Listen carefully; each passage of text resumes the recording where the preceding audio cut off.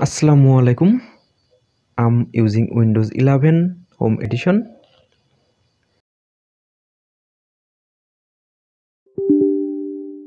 As you can see, I can't open local group policy editor.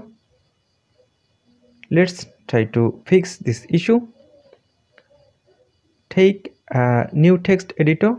I'm taking text document but you can choose any text editor just paste this code here and save it.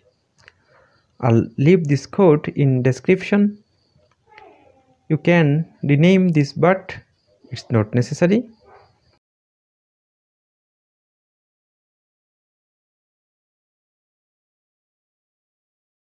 Change the file extension to bat now run this as administrator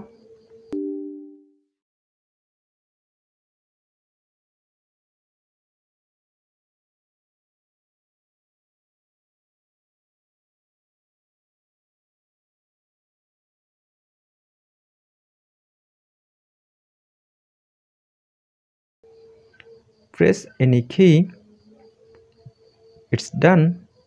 Now check it is working or not. As you are watching it's fine now. Hope this video will help you who are suffering with such problem. Take care everyone. Allah hafiz